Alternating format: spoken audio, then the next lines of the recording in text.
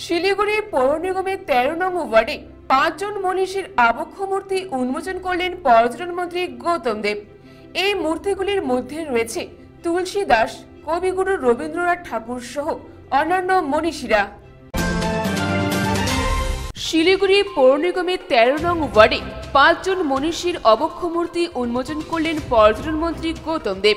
এদিন সন্ধ্যায় স্থানীয় ওয়ার্ড কাউন্সিলর মানিকদের উপস্থিতিতে মূর্তিগুলিকে উন্মোচন করেন পর্যটন মন্ত্রী।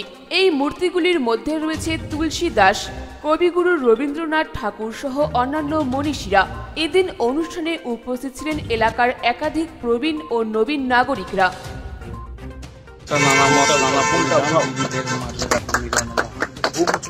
বৈচিত্র্যের মাঝেই ঐক্য এটা ভারতীয় সংস্কৃতির মূল সুর আমরা সিঙ্গুলার ইজমে বিশ্বাস করি না এক ভূমিকায় বিশ্বাস করি না বহুমাত্রিক সমাজ বহু মত বহু পথ। এবং রামকৃষ্ণ দেব বলেছে জগন্মত এই বিভিন্ন ভাষা বিভিন্ন ভাবনা যে অমর কবিরা সৃষ্টি করেছে। তাদের শ্রদ্ধার্ঘ নিবেদন করা হয়েছে এই জায়গাটা খুবই অভিনব, এটা মনে হয় বাংলায়।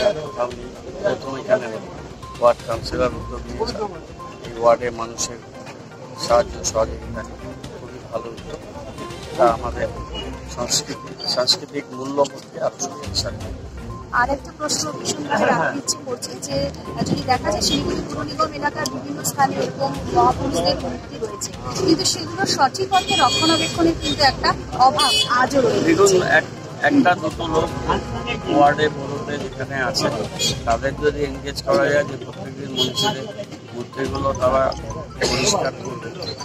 এক মাস, দু মাস পরে লেটার দিয়ে হাইটের পরিষ্কার করবে তাহলে অবশ্যই করা যায়। ছোটবেলায় দেখবেন আগে আমরা ভয়ে আসতে কিন্তু এগারো সালের পরে আসার পর দেখবেন যে কত সুন্দরভাবে মূর্তি না করাটাও ভালো। মূর্তি প্রতিষ্ঠা করে তার যথাযথ সংরক্ষণ এবং মর্যাদা নিশ্চিত হওয়া উচিত।